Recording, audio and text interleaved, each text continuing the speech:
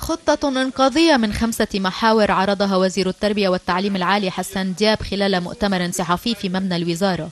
الخطة التي تطال القطاع التربوي بأكمله تتوزع على 23 برنامجا.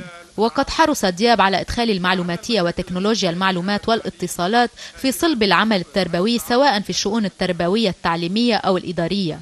أما فيما يتعلق بالتعليم العالي فتطرق دياب إلى شأن الجامعة اللبنانية مشددا على ضرورة تحديث أنظمتها وتنمية قدراتها.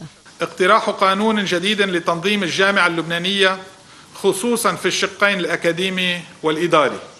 تنظيم التعاقد على أنواعه.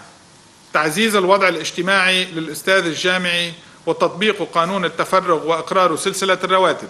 تدعيم إنتاج المعرفة والبحث العلمي وجعله من متطلبات عمل الأستاذ الباحث تعزيز حضور ودور الجامعة اللبنانية في المجتمع المحلي وفي الخارج. وسنعمل مع الرئيس الجديد لإنجاز اقتراحات مجالس الوحدات من أجل تعيين العمداء واستكمال تكوين مجلس الجامعة.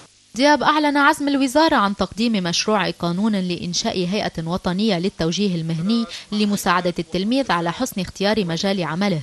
كما ثمن دور التعليم المهني والتقني مؤكدا أن الوزارة تولي أهمية خاصة لتحديث هذا القطاع وتطويره وهي أدرجت أربعة برامج تخص هذا التعليم.